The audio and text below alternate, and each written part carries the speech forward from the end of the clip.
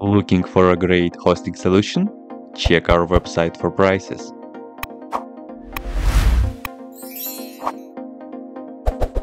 First what you need to do is to update the server packages. You can do this by the following command.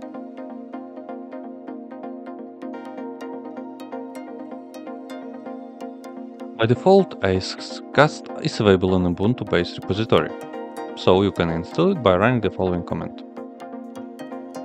Choose Yes and press Enter, you should see the following page.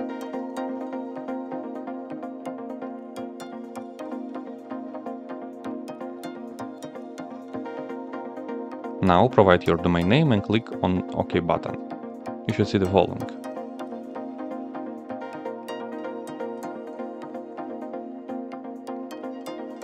Now provide admin password and click on the OK button.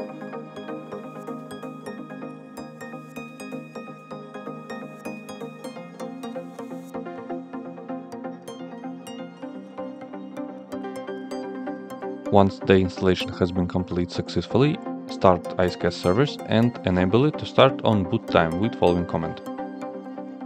You can check the status of Icecast with the following command.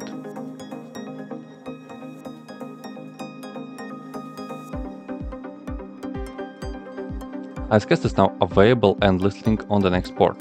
Open your web browser and type your domain name and the port. You will be redirected to the Icecast dashboard. Now click on Administrate you will be asked to provide admin username and password. Provide username and password and click on the sign in button. You should see the following.